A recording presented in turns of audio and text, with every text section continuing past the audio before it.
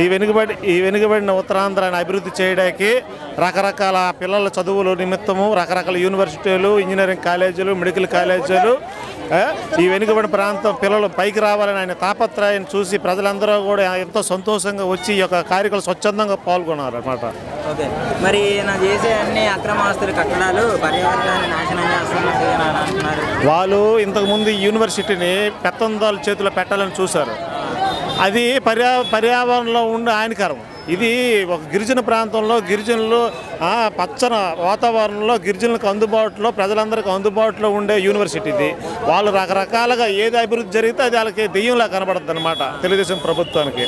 అందువల్ల వాళ్ళకి ఇప్పుడు జగన్మోహన్ రెడ్డి గారు ఎంత అభివృద్ధి చేసినా వాళ్ళకి కళ్ళు కనిపించదు అన్నమాట కంటికి కనిపించకుండా వాళ్ళు రకరకాల విన్యాసాలు చేస్తుంటారు. అది ప్రజలెవరు నమ్మే పరిస్థితులు ఇప్పుడు లేరు.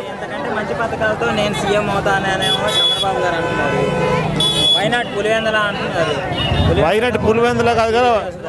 వైనాటి పులివెందు వైనాటి కుప్పం అనేసి మేము అంటాం అనమాట నూట డెబ్బై ఐదు నూట డెబ్బై ఐదు జగన్మోహన్ రెడ్డి కాన్సెప్ట్. ఆ కాన్సెప్ట్ ప్రజలందరూ కూడా మంచి హృదయంతో ఓట్లేసి నూట డెబ్బై ఐదు నూట డెబ్బై ఐదు కూడా గెలిపించడానికి ముందు ఉన్నారన్నమాట. వైనాటు వైనాటు అవన్నీ మనము మన ఆత్మవిశ్వాసంతో మనం చెప్తున్నాం. ప్రజలందరూ కూడా ఆత్మవిశ్వాసంతో ఉన్నారు. జగనాన్ని గెలిపించడానికి. తప్పు లేదు కదా? సీఎం అని జగన్మోహన్ రెడ్డి ఎవరు కూడా ఆపలేరు. ముప్పై సంవత్సరాలు సీఎం కూడా ఆయనే.